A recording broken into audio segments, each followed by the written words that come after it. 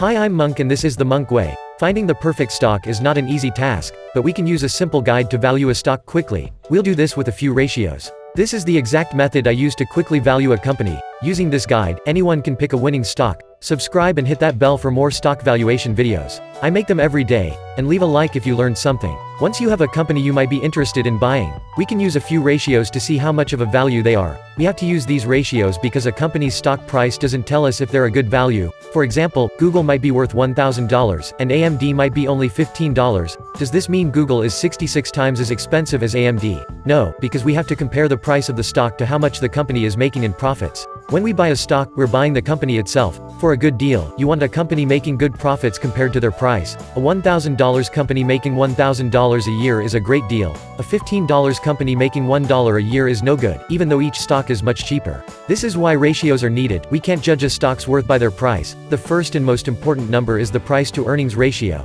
telling us how much a company is earning in profits compared to the company's price. A simple calculation, using Apple as an example. The price of one stock is $180, then we divide that by the earnings per share. This just means how much profit they earned in the past year, but per one share of that company. So if they made 50 million a year but had 5 million stocks, that's $10 earned per one share. 180 divided by an earnings per share of 10 is 18. A PE ratio of 18 means Apple's price is 18 times what they earned in profits. They have a price of $180 per piece of Apple, and each piece made $10 last year, so the price is 18 times what they made in profits. When buying a company, we want as much profits as possible. This is why the PE ratio is the first number to use. To determine a good PE ratio, we can compare it to the average of American stocks. Finding the PE ratio of the S&P 500 will tell us the average. Those 500 companies combined has a PE ratio of 25. This is pretty high right now so stocks are expensive. Historically a PE of 15 is a good average. Let's look at a few popular stocks to see how it compares to 25. Facebook is at 33, so we're paying 33 times what Facebook earned in the past year. 33 is higher than 25 so we can see they're more expensive than the average stock. Apple is only 18, so they earned $1 for every $18 we're paying. This is lower than the average of 25, a good deal. Amazon is really high at 215, this is 9 times the average, this means they made 9 times less profits compared to the average. They made $1 for every $215 we're paying. So if their stock price was $215 for one share, that one share only made you $1 in the past 12 months. Not a great deal at all, but we can see why people are still buying this in the next ratio. Netflix is even higher at 273, meaning they're even more expensive than Amazon. And Google is 49, about double the average PE ratio. This means the average stock earned twice as much as Google compared to their stock price.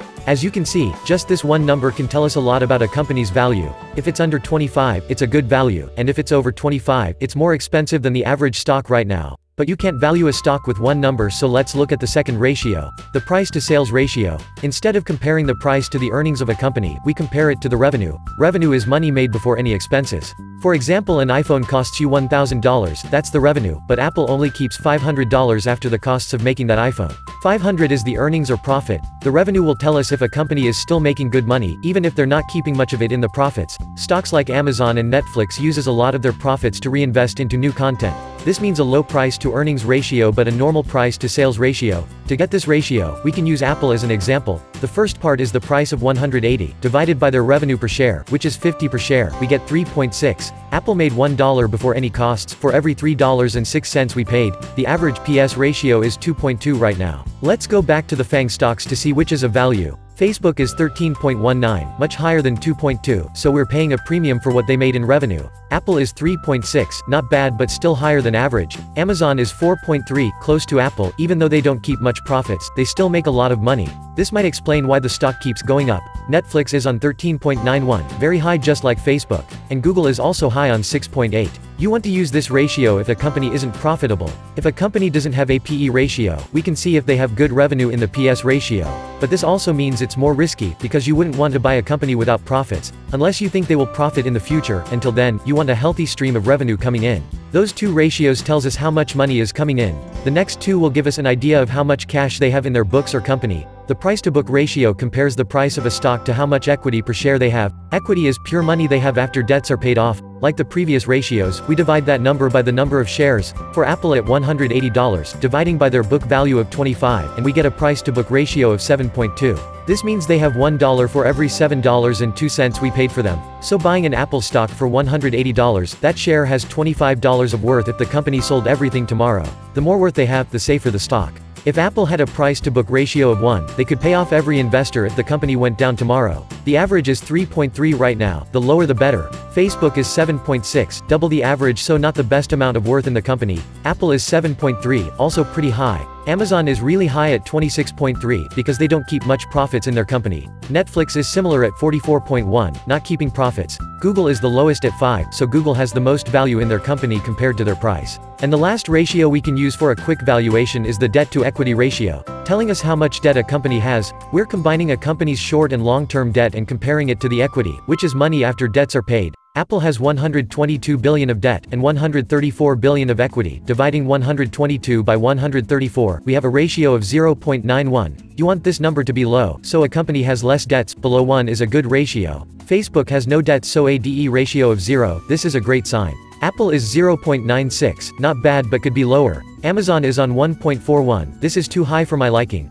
Netflix is high on 1.62, and Google is very low on 0.03, meaning Facebook and Google both have very low debt. A company with too much debt could see more instability and be higher risk. A number under 0.5 is a good sign when looking at this ratio. Combining all these ratios will give you an idea of a company's value. You should compare companies in the same sector like comparing Apple to Microsoft, or Walmart to Costco. Just looking at 5 companies in the same sector and seeing which has the lowest numbers is a good start. Price to earnings ratio to see their profits, under 25 being a value right now. Price to sales ratio to see how much revenue they're making, under 2.2 being a good value. Price to book ratio tells you how much money they have, under 3.3 being great. And finally see how much debt they have in the debt to equity ratio, under 0.5 being good. Do this the next time you're thinking of buying a company. The lower the numbers, the cheaper the stock. Remember, the stock price has pretty much no relation to the actual value of the stock. Once you have the basics down, there are other numbers that tell you more specific things. Numbers such as the return on equity, return on assets, forward PE, profit margin, current ratio and many more. I'll be covering all those numbers in future videos so keep watching. But the basics are all you need to pick a value, with the more in-depth numbers if you want more information.